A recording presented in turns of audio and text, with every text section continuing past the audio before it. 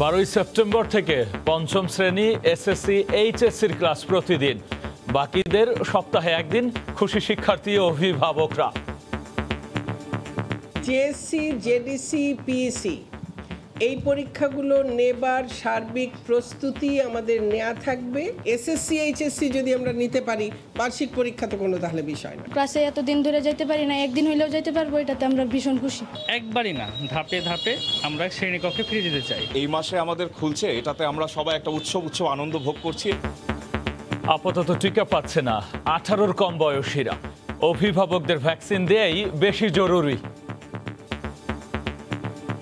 যাদের এনআইডি নাই তারা বার্থ রেজিস্ট্রেশনের মাধ্যমে যাতে টিকা নিতে পারেন সেটার জন্য একটা নতুন উইন্ডো ওপেন করার চেষ্টা করা হচ্ছে। আঠারো বছরের নিচেদের জন্য টিকা এখনও নিরাপদ কিনা প্রমাণিত হয়নি প্যারেন্টসদেরকে দিতে হবে যারা ঝুঁকিপূর্ণ। দেখছিলেন প্রধান শিরোনাম। রাতের সময়ে সঙ্গে আছি আমি গোলাম রাব্বি। এবার অন্যান্য শীর্ষ সংবাদ। ই অরেঞ্জ কাণ্ডে জড়িত পুলিশ পরিদর্শক সোহেলকে দায়িত্ব থেকে অব্যাহতি। ভারত থেকে ফেরানো হবে দেশে, ছিলেন টাকা আত্মসাতের মাস্টার মাইন্ড অভিযোগভুক্ত। খানাখন্দে বিপর্যস্ত ঢাকা ময়মনসিংহ মহাসড়কের যানজটের ধাক্কা রাজধানীতেও। এলিভেটেড এক্সপ্রেসের কাজ হয়েছে ত্রিশ ভাগ, আগামী বছর একাংশ চালুর আশা মন্ত্রীর।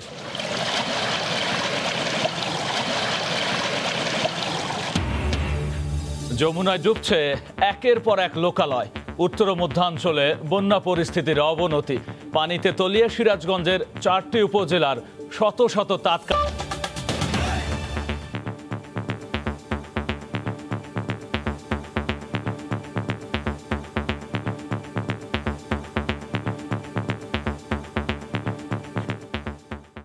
বারোই সেপ্টেম্বর থেকে দেশের সব স্কুল কলেজে শুরু হচ্ছে শ্রেণীকক্ষে পাঠদান। পঞ্চম শ্রেণি, এসএসসি ও এইচএসসি শিক্ষার্থীদের নিয়মিত ক্লাস নেওয়া হলেও বাকিদের হবে সপ্তাহে একদিন। সচিবালয়ে আন্তমন্ত্রণালয় বৈঠক শেষে ব্রিফিংয়ে কথা জানান শিক্ষামন্ত্রী ডাক্তার দীপুমণি স্কুল খোলার পর সমাপনী পরীক্ষা নেওয়া হতে পারে বলেও জানান তিনি। এদিকে ক্লাস চালু নির্দেশনায় খুশি শিক্ষার্থী ও অভিভাবকরা।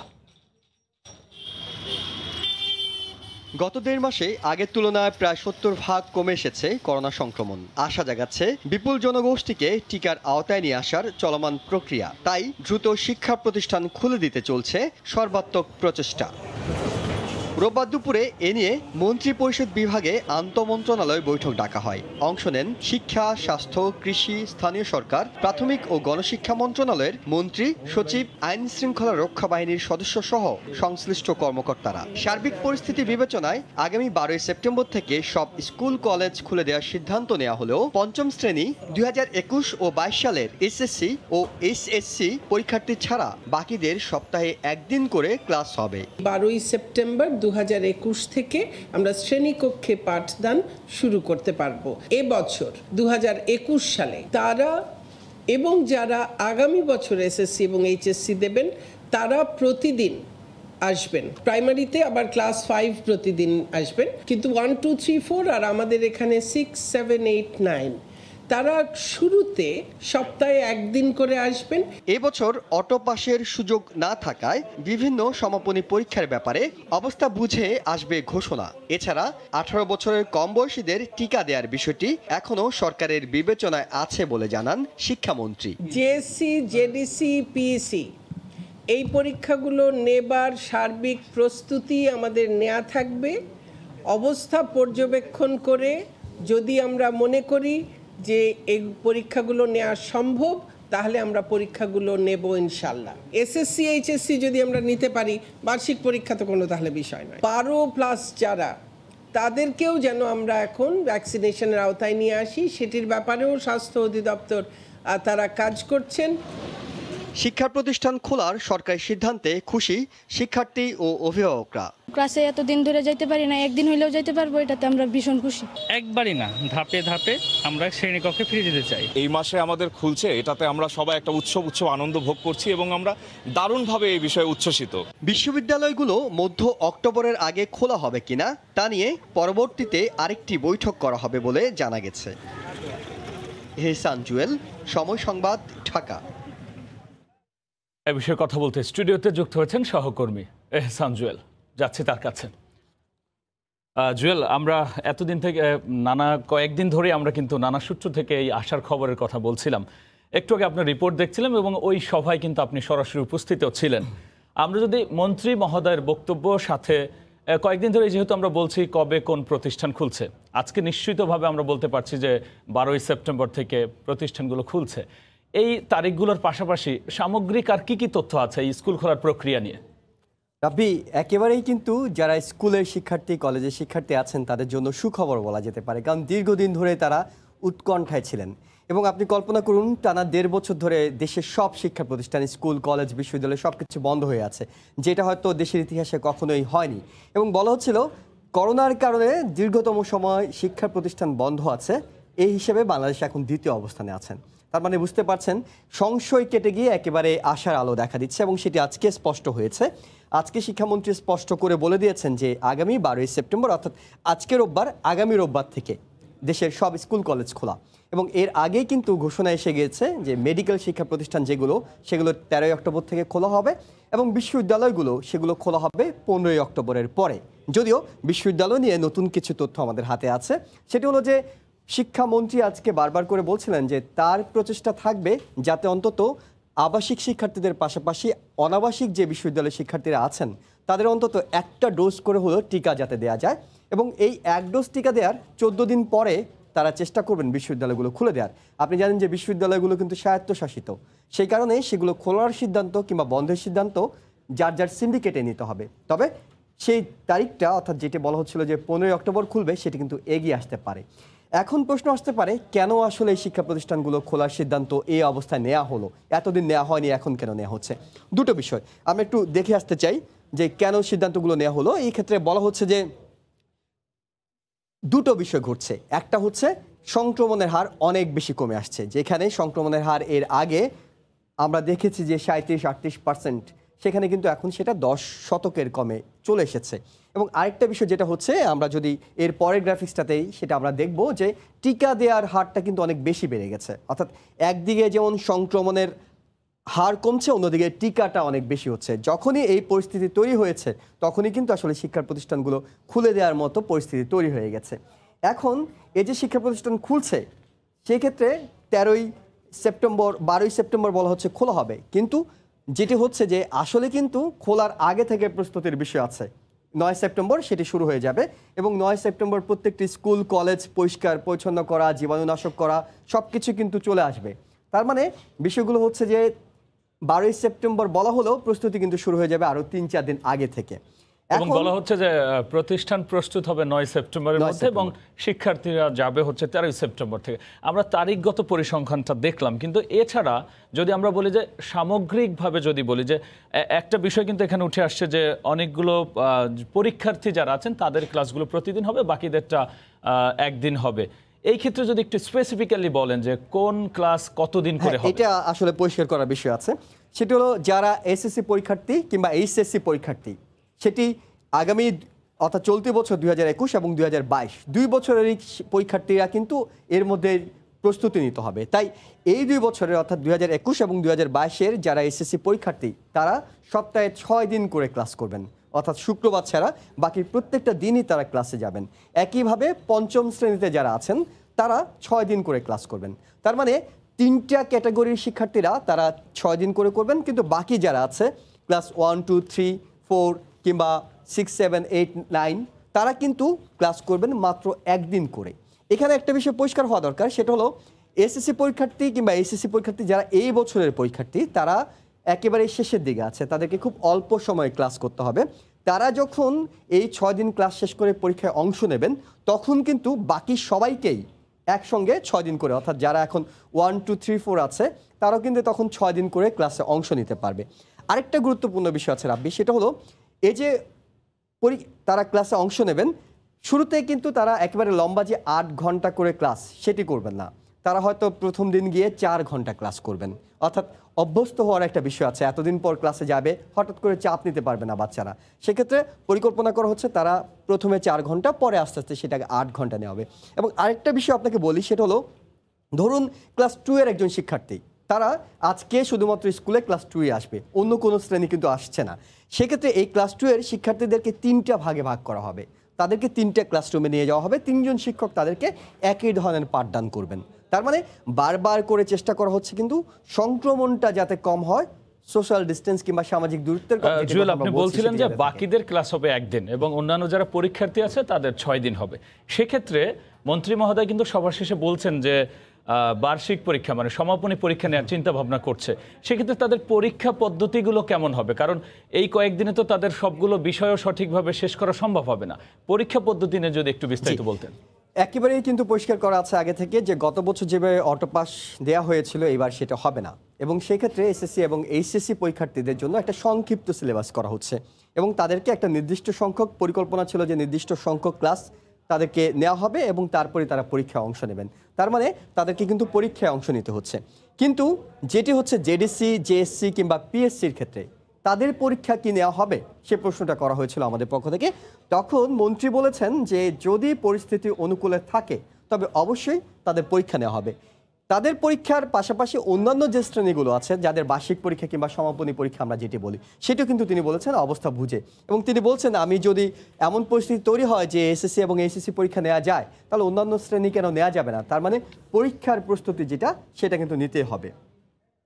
এবং আমরা আরেকটা বিষয় আপনাদের বলি, যে আমরা বলছিলাম যে টিকা দেওয়ার পরিস্থিতি, সেটি কিন্তু বিশ্ববিদ্যালয়ের শিক্ষার্থীদের বিষয়টা আলোচনা করা হচ্ছিল। কিন্তু স্কুলের যে শিক্ষার্থী কিংবা শিক্ষক, তাদের টিকা দেওয়ার বিষয়ে গতকালই স্বাস্থ্যমন্ত্রী বলেছিলেন যে বারো থেকে আঠারো বছর বয়সী যারা আছে, তাদের টিকা দেওয়া যায় কিনা সেই বিষয়টি বিবেচনা নেওয়া হচ্ছে। কিন্তু আজকে আমরা স্বাস্থ্য অধিদপ্তরের যে বুলেটিন দেখেছি দুপুরে, সেখানে কিন্তু বলা হচ্ছিল যে এখন পর্যন্ত এই ধরনের পরিকল্পনা তাদের কাছে নেই এবং সেই ক্ষেত্রে বলা হচ্ছে, যারা জনস্বাস্থ্য বিশেষজ্ঞ, তারা বলছেন, যদি শিক্ষার্থীদের টিকা দেওয়া নাও যায়, অভিভাবক এবং শিক্ষকদের টিকা দেওয়ার বিষয়টি যাতে গুরুত্ব দেওয়া হয়। এই বিষয়ে আমাদের হাতে একটা নিউজ আছে, আমরা এটা একটু দেখে আসতে চাই। গত দেড় বছরেরও বেশি সময় ধরে বন্ধ থাকা দেশের শিক্ষা প্রতিষ্ঠানগুলো খুলছে আগামী সপ্তাহেই। শিক্ষার্থীদের টিকার আওতায় আনা ও সংক্রমণের হার কমলেই খোলার বিষয়ে আলোচনা চলছিল এতদিন। এরই মধ্যে বিশ্ববিদ্যালয় শিক্ষার্থীদের সিংহভাগই ভ্যাকসিন নিয়েছেন। সম্প্রতি স্কুল কলেজ খোলার সিদ্ধান্তের পর উঠে মাধ্যমিক ও উচ্চ মাধ্যমিক পর্যায়ের শিক্ষার্থীদের টিকা দেওয়ার বিষয়টি। এ অবস্থায় শনিবার রাজধানীর তেজগাঁও সরকারি বালিকা উচ্চ বিদ্যালয়ে নার্সিং ও মিডওয়াইফারি কম্প্রেহেন্সিভ পরীক্ষা কেন্দ্র পরিদর্শন করে স্বাস্থ্যমন্ত্রী জানান, বারো বছরের বেশি বয়সীদের ফাইজার ও মডার্না টিকা দেওয়ার বিষয়টি ভাবা হচ্ছে। ফাইজার এবং মডার্না টিকাটা বারো বছরের উপরে যারা বয়স আছে তাদেরকে দেওয়া হয়েছে। তা আমাদেরকেও টিকা কার্যক্রম এই বয়সে করতে হলে পরে ওই সিস্টেমটাকে আমাদেরকে ফলো করতে হবে। তবে রোববার দুপুরে স্বাস্থ্য অধিদপ্তরের অনলাইন বুলেটিনে জানানো হয়, আপাতত আঠারো বছর বয়সের নিচে কাউকে টিকার আওতায় আনা হবে না। সব ক্ষেত্রে এখন পর্যন্ত বয়স সীমা কিন্তু আঠারো বছরের ঊর্ধ্বে। যারা বাকি আছেন এবং যারা ইউনিভার্সিটিতে পড়েন, তাদের সকলের অবগতির জন্য আমি জানাচ্ছি যে আপনাদের যাদের এনআইডি আছে, এনআইডির মাধ্যমে রেজিস্ট্রেশন করে টিকা নেবেন এবং ইতিমধ্যে অনেকে নিয়েছেনও আমরা জানি। আর যাদের এনআইডি নাই তারা বার্থ রেজিস্ট্রেশনের মাধ্যমে যাতে টিকা নিতে পারেন সেটার জন্য একটা নতুন উইন্ডো ওপেন করার চেষ্টা করা হচ্ছে। স্কুল খোলার জন্য শিশুদের টিকা দেওয়া জরুরি নয় জানিয়ে বিশেষজ্ঞরা বলছেন বাবা মা এবং শিক্ষক কর্মচারীদের টিকার আওতায় আনতে হবে। আঠারো বছরের নিচেদের জন্য টিকা এখনও নিরাপদ কিনা প্রমাণিত হয়নি এবং এত বাচ্চাকে দেওয়ার দরকার নেই। দরকার করতে হবে ওদের প্যারেন্টসদেরকে দিতে হবে যারা ঝুঁকিপূর্ণ স্কুলের স্টাফ এবং টিচারদেরকে দিতে হবে এবং এই- অজুহাতে যে টিকা দিতে পারি নাই অজুহাতে যেন স্কুলগুলো বন্ধ রাখা না হয়। আগামী তেরো অক্টোবর থেকে মেডিকেল কলেজ পনেরো অক্টোবর থেকে বিশ্ববিদ্যালয় এবং বারো সেপ্টেম্বর থেকে স্কুল কলেজ খুলবে বলে জানায় সরকার। তোহা খান তামিম সময় সংবাদ ঢাকা। জুয়েল আমরা একদিন আগে যখন মন্ত্রী মহোদয় বললেন টিকা দেওয়ার পরে খোলা হবে আবার আজকে কিন্তু বুলেটিনে আমরা দেখলাম হচ্ছে যে টিকা দেওয়ার কোনো প্রক্রিয়া বা অবস্থায় নেই। এই যে যে সমন্বয়হীনতা, এখানে আরেকটি সমন্বয়হীনতা আবার আমরা দেখলাম কিনা? আরেকটি হচ্ছে, যেহেতু স্কুল খোলা হচ্ছে, সেক্ষেত্রে আবারও যদি একটু আমরা শিক্ষার্থী, শিক্ষক, অভিভাবকদের স্মরণ করিয়ে দেই যে কি কি পদ্ধতি বা সুরক্ষা রাখার জন্য কি কি অনুসরণ করা হবে? রাবি সমন্বয়হীনতার বিষয় বললে আসলে শেষ করা যাবে না, আমাদের হাতে এত সময় আমরা পাবো না। তবে সমন্বয়হীনতার বিষয় এটি নয়, এটি একেবারে বৈজ্ঞানিক বিষয়। যদি বারো থেকে আঠারো বছরের শিশুদের দেয়া যায়, বিশ্বের অন্যান্য জায়গায় সেটা প্রমাণিত হয়, তখনই কেবলমাত্র দেয়া যাবে। স্বাস্থ্যমন্ত্রী কিংবা স্বাস্থ্য অধিদপ্তর কি বললেন সেটা কিন্তু মুখ্য নয়। মুখ্য হলো, আসলে দেয়া যাবে কিনা। যেটি আপনি বলছিলেন যে কি কি বিষয় মানতে হবে, একেবারে সরকার একটা গাইডলাইন তৈরি করছে, সেই গাইডলাইনের তথ্যগুলো আমাদের হাতে আছে কিছুটা। আমরা যদি দেখি যে মাস্ক পরতে হবে, ছোট, বড় যেই হন না কেন, স্কুলের শিক্ষক থেকে শুরু করে ছাত্র, সবাইকে মাস্ক পরতে হবে, অভিভাবকরা মাস্ক পরিয়ে তাদেরকে পাঠাতে হবে।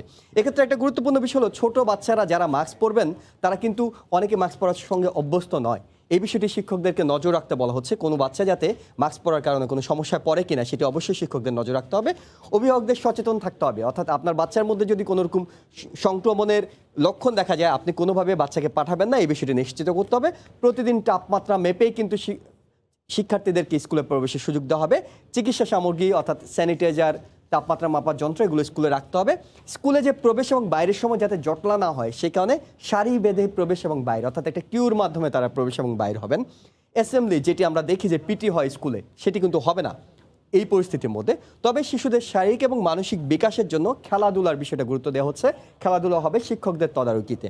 এবং প্রত্যেকটা দিন অনলাইনে প্রত্যেকটা স্কুলকে একটা রিপোর্ট পাঠাতে হবে শিক্ষা মন্ত্রণালয়। অর্থাৎ আজকে তাদের স্কুলে বাচ্চাদের মধ্যে কি অবস্থা, কোনো রকম লক্ষণ দেখা গেল কিনা, কোনো সংক্রমণ আছে কিনা, সেই বিষয়টি প্রত্যেকটা দিনই কিন্তু অনলাইনে রিপোর্ট পাঠাতে হবে। তার মানে সরকার একটা এসওপি তৈরি করছে স্ট্যান্ডার্ড অপারেটিং প্রসিডিউর এবং সে অনুযায়ী স্কুলগুলোকে চালাতে হবে। এবং এটি যদি মানা সম্ভব হয়, হয়তো আশা করা যেতে পারে যে স্কুল কিংবা শিক্ষা প্রতিষ্ঠান খুলছে, সেটি হয়তো বন্ধ করতে হবে না। না হয় কিন্তু আমরা জানি যে স্বাধীনতা অর্জনের চেয়ে রক্ষা করা একটু কঠিনই হয়। জুয়েল, আপনাকে ধন্যবাদ আলোচনায় অংশ নেওয়ার জন্য। স্কুল খোলার বিষয়ে নানা প্রক্রিয়া নিয়ে কথা বলতে আলোচনায় যুক্ত হয়েছিলেন সহকর্মী এহসান জুয়েল। এবার যাচ্ছে অন্য প্রসঙ্গে। এই অরেঞ্জ কাণ্ডে জড়িত বনানী থানার পরিদর্শক সোহেল রানাকে দায়িত্ব থেকে অব্যাহতি দেওয়া হয়েছে। ভারত থেকে তাকে দেশে ফিরিয়ে আনার চেষ্টা চলছে বলেও জানিয়েছেন ডিএমপি কমিশনার। ভুক্তভোগীরা বলছেন, টাকা আত্মসাদের মাস্টার মাইন্ড ছিলেন এই সোহেল রানা। গ্রাহকের প্রায় এগারোশো কোটি টাকা আত্মসাতের অভিযোগে ই অরেঞ্জের বিভিন্ন পর্যায়ের কর্মকর্তাদের বিরুদ্ধে একাধিক মামলা হয়েছে। ভুক্তভোগী রাসেল ইসলাম আকাশ বাদী হয়ে আদালতে একটি মামলা করেন। মামলায় যে পাঁচজনকে আসামি করা হয়েছে, তার মধ্যে অন্যতম বনানী থানার পুলিশ পরিদর্শক শেখ সোহেল রানা। ভুক্তভোগীর দাবি সোহেল রানাই ছিল মাস্টার মাইন্ড শেখ সোহেল রানা বনানী থানার তদন্ত ওসি যে ছিল, উনি ছিল মাস্টার মাইন্ড উনি আসলে পিছন থেকে সব কল কাটিয়ে নাড়তেছিল, জাস্ট ওনার ফ্যামিলি মেম্বারদেরকে বসায় দেওয়া এটা পরিচালনা করতেছিল ওনার আহ, আপনার প্রফেশনের কারণে। ভুক্তভোগীদের দাবি ই অরেঞ্জের অন্যতম প্রধান পৃষ্ঠপোষক ও নেপথ্যের পরিচালক সোহেল রানা কোটি কোটি টাকা বিদেশে পাচার করেছেন। তার সম্পত্তি যে বাংলাদেশের বাইরে আছে এটার প্রমাণ আমাদের কাছে আছে। ওনাদের এই যে ইয়ে থাইল্যান্ডে আছে আর এই যে পর্তুগালে। ওনাদের কি মামলা হবে? আজকে ফোর টোয়েন্টিতে ফ্রডের মামলা দিবে। এই ফ্রডের মামলা তো দুই চার বছর পরেই বের হয়ে যাবে। তখন তারা তো ঠিক আছে। তারা তো সব টাকা মানি লন্ডারিং করে দিছে। কিন্তু আমাদের কি হবে? মার্শাবির যে আশ্বাস দিয়েছিল আমাদেরকে দিয়ে দিবে দুই মাসের মাথায় পেয়ে যাব কেউই পায়নি আমাদের সাথে তো সেই ক্ষেত্রে আমাদের অবস্থা খুব হর- হয়রানিজনক হয়ে গেছে। ভারতে আটক সোহেল রানাকে দেশে ফিরিয়ে আনতে চেষ্টা চলছে বলে জানিয়েছেন মহানগর পুলিশ প্রধান। তাকে আমরা ইন্ডিয়ান অথরিটির সাথে যোগাযোগ করছি তাকে ফেরত আনা যায় কিনা। যদিও ওখানে একটা মামলা হয়ে গেছে। শনিবার বাংলাদেশ, ভারতের চেংরাবান্ধা সীমান্ত এলাকা থেকে শেখ সোহেল রানাকে গ্রেফতার করে ভারতের সীমান্তরক্ষী বাহিনী, বিএসএফ। স্থানীয় এক দালালের মাধ্যমে দশ হাজার টাকার বিনিময়ে অবৈধভাবে সীমান্ত পার হওয়ার কথা স্বীকার করেছেন তিনি। ভারত হয়ে শেখ সোহেল রানা নেপালে যাওয়ার চেষ্টা করেছিলেন। বুলবুল রেজা, সময় সংবাদ, ঢাকা। এদিকে পুলিশ পরিদর্শক সোহেল রানা ইস্যুতে আইজিপি ডক্টর বেনজির আহমেদ বলেছেন, বাহিনীতে কোথাও ঘা দেখা গেলে ব্যান্ডেজ না করে তা ক্লিন করা হচ্ছে। পুলিশ সদর দফতরে এক অনুষ্ঠানে তিনি একথা বলেন। তবে বোট ক্লাব ইস্যুতে সাংবাদিকদের প্রশ্ন এড়িয়ে যান পুলিশ প্রধান।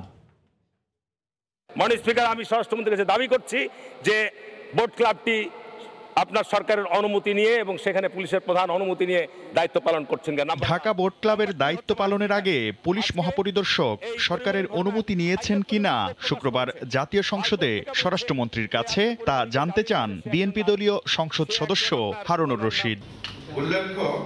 রোববার পুলিশ সদর দপ্তরে এক অনুষ্ঠানে সাংবাদিকরা এ বিষয়ে জানতে চাইলে পুলিশ প্রধান ডক্টর বেনজির আহমেদ বলেন, সংসদ সদস্য না হয়ে সংসদের ভিতরের কোনো বিষয়ে কথা বলা অশোভন। পার্লামেন্টের একজন সংসদ সদস্য কি বলেছেন? তার পাল্টা বক্তব্য আইজিপি এখানে দিবে না এই জন্য বিকজ পার্লামেন্টের কথা কোনো পাল্টা বক্তব্য হয় না, বাইরে আমি বাংলাদেশের আইজিপি, আমি পার্লামেন্ট সদস্য নই তো সে কারণে এটা শোভন না যৌক্তিক না আইনসম্মত বনানী থানার পরিদর্শক সোহেল রানার ইউরেঞ্জ কাণ্ডে জড়িত থাকা এবং দেশত্যাগ নিয়ে এক প্রশ্নের জবাবে আইজিপি বলেন পুলিশ বাহিনীতে ঘা দেখা গেলে ব্যান্ডেজ না করে ক্লিন করা হচ্ছে। এগুলো আমরা ইচ্ছা করলে র্যাপ করতে পারতাম। এগুলো ইচ্ছা করলে আমরা বিভাগীয় ব্যবস্থার মধ্যে সীমিত রাখতে পারতাম। এগুলো ইচ্ছা করলে কিন্তু ব্যান্ডেজ করা যেত। ব্যান্ডেজের মধ্যে আমরা নেই। উই ওয়ান্ট টু ক্লিন ভারতের সঙ্গে বন্দি বিনিময় চুক্তি থাকায় সোহেল রানাকে ফিরিয়ে আনা কঠিন হবে না বলেও জানান পুলিশ মহাপরিদর্শক। শাকির আহমেদ সময় সংবাদ ঢাকা। রাতের সময় আরও থাকছে। মশা নিধনে প্রতি বছর বরাদ্দ বাড়লেও কমে না ডেঙ্গুর প্রকোপ। দুই বছরে দুইশো কোটি টাকা খরচ হলেও নেই ফল যেখানে সেখানে মিলছে লার্ভা। প্রধানমন্ত্রী শেখ হাসিনা বলেছেন আধুনিক প্রযুক্তি জ্ঞান সম্পন্ন প্রতিরক্ষা বাহিনী গড়ে তুলতে কাজ করছে সরকার। তিনি বলেছেন, বাংলাদেশ যুদ্ধ চায় না, তবে বহির্শত্রুর আক্রমণ প্রতিহত করার সব ধরনের সক্ষমতা সশস্ত্র বাহিনী থাকতে হবে। সকালে নৌ ও বিমান বাহিনী নির্বাচনী পর্ষদের সভায় কথা বলেন শেখ হাসিনা। সশস্ত্র বাহিনীর দুই বিশেষ উইং, নৌ ও বিমান বাহিনী। এই বাহিনীগুলোতে উচ্চতর পদে কর্মকর্তাদের দায়িত্ব দেওয়ার ক্ষেত্রে মূল ভূমিকা পালন করে থাকে নৌ ও বিমান বাহিনী নির্বাচনী পর্ষদ। বাহিনী প্রধানদের নেতৃত্বে নীতি নির্ধারণী এই বোর্ড চূড়ান্ত করে কারা আসবেন সম্মুখ সারির গুরুত্বপূর্ণ নেতৃত্বে। বরাবরের মতো এই দুই বাহিনীর কর্মকর্তা পদায়নে গুরুত্বপূর্ণ এই সভাটি এবারও অনুষ্ঠিত হয়েছে। রোববার সকালে বাহিনীগুলোর সদর দপ্তরে আয়োজিত এই সভায় গণভবন থেকে ভার্চুয়াল মাধ্যমে যোগ দেন প্রধানমন্ত্রী শেখ হাসিনা।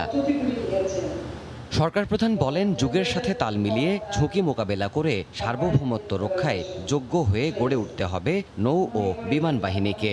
জানান, যোগ্য কর্মকর্তারা যাতে অবহেলিত না হয়। বিশ্ব যেখানে এগিয়ে যাচ্ছে, প্রযুক্তি নির্ভর হয়ে যাচ্ছে বর্তমান বিশ্ব। তার সঙ্গে তাল মিলিয়ে যেন আমরা চলতে পারি, সেই প্রস্তুতিও আমাদের থাকতে হবে। অনেক ক্ষেত্রে দেখা যায় যে অনেকে কর্তব্য পালনে অনেক দক্ষতার পরিচয় দিতে পারে। তো তারাও যেন অবহেলিত না হয়। বাংলাদেশ সবসময় শান্তির পক্ষে উল্লেখ করে সশস্ত্র বাহিনীর কর্মকর্তাদের বহিঃশত্রুর যে কোনো আক্রমণ প্রতিহত করার দক্ষতা অর্জনের তাগিদ দেন শেখ হাসিনা। আমরা শান্তি চাই কারণ শান্তি ছাড়া কোনো দেশের উন্নতি করা সম্ভব না। যুদ্ধ ধ্বংস ডেকে আনে।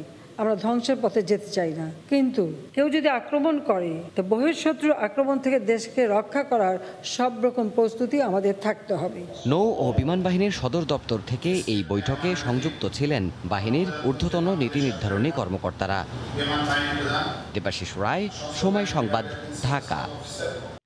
যানজট আর জনদুর্ভোগের আরেক নাম ঢাকা ময়মনসিংহ মহাসড়ক।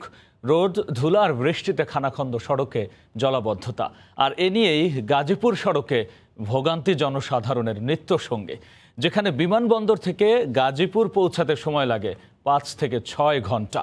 গাজীপুরে তৈরি হওয়া যানজটের স্রোত ছড়িয়ে পড়ছে রাজধানী ঢাকাতেও। এমন পরিস্থিতির জন্য সিটি মেয়র দায় চাপালেন বিআরটি প্রকল্পের ওপর। আল মামুনের ক্যামেরায় সাদাত রহমতুল্লাহ রিপোর্ট।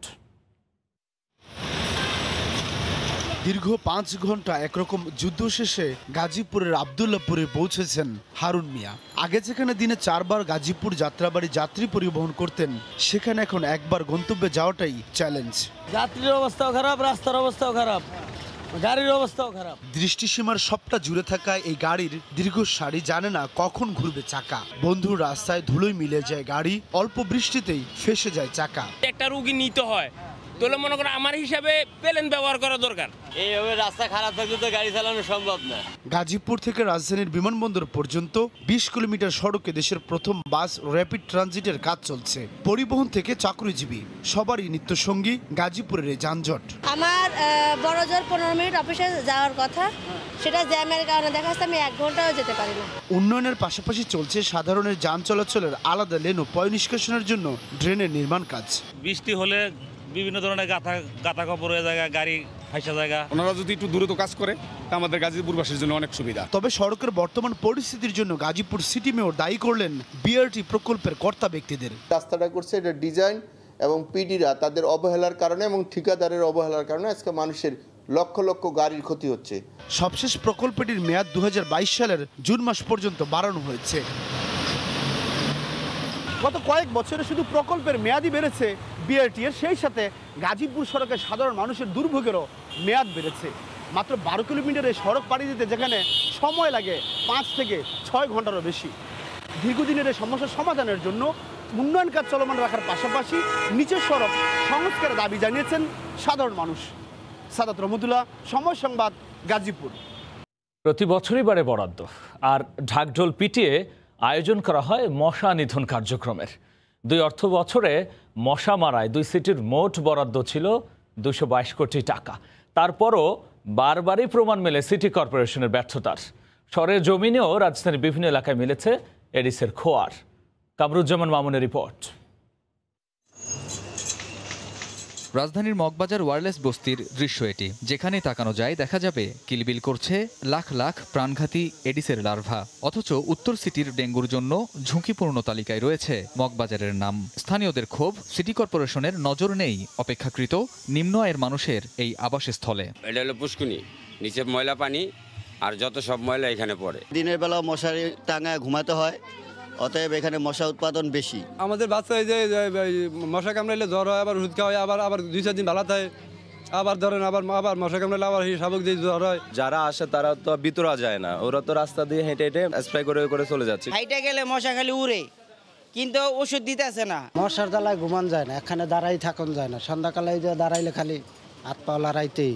সহসায় ডেঙ্গু প্রকোপ থেকে বাঁচার কোনো সুখবর নেই জানিয়ে কীটতত্ত্ববিদরা বলছেন বরাদ্দ যতই বাড়ুক ক্রাশ প্রোগ্রাম বিজ্ঞান ভিত্তিক না হলে প্রতি মৌসুমেই ফিরে আসবে ডেঙ্গু। আগামী পনেরো দিনের মধ্যে ডেঙ্গু খুব কমে আসবে বলে আমাদের মনে হচ্ছে না। এডিস মশার জন্য সারা বছর ব্যাপী যদি আমরা নিয়ন্ত্রণ ব্যবস্থা না করতে পারি তাহলে সিটি কর্পোরেশনের বাজেট যতই বাড়ুক সেটিতে আমাদের এডিস মশা নিয়ন্ত্রণ হবে না। মৌসুম এলেই এডিসের লার্ভা নিধনে দেখা যায় দুই সিটির তোড়জোড়।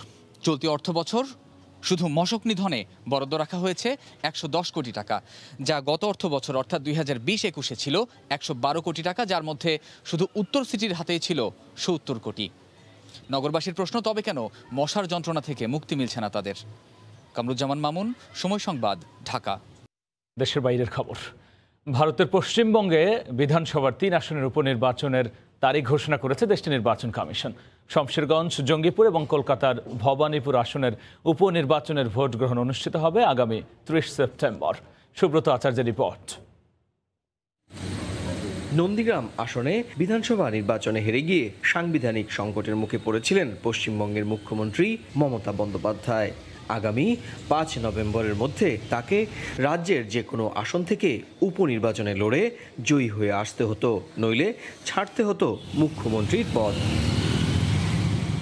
তাই নির্ধারিত সময়ে উপনির্বাচন নিয়ে চরম অনিশ্চয়তা তৈরি হয়। তবে সেই অনিশ্চয়তার আগুনে জল ঢেলে দিয়ে আগামী তিরিশে সেপ্টেম্বর ভবানীপুর আসনে উপনির্বাচনের তারিখ ঘোষণা করেছে নির্বাচন কমিশন। দিদি দাঁড়াচ্ছে মানে ভবানীপুরে প্রত্যেক ঘরে ঘরে দিদি একটা সেন্টিমেন্ট জড়িয়ে আছে। আমরা খুবই আনন্দিত যে দিদি এখানে আমাদের ঘরের মেয়ে। ঘরে ভবানীপুরে ভোটে দাঁড়িয়েছে। এদিকে করোনার বাস্তবতায় উপনির্বাচন ঘোষণার পর বিজেপি এবং কংগ্রেস তীব্র প্রতিক্রিয়া জানিয়েছে। আমি বারবার করে বলেছিলাম যে স্বাস্থ্য বিশেষজ্ঞদের সঙ্গে মতামত নিয়ে যেন নির্বাচন করানো হয়।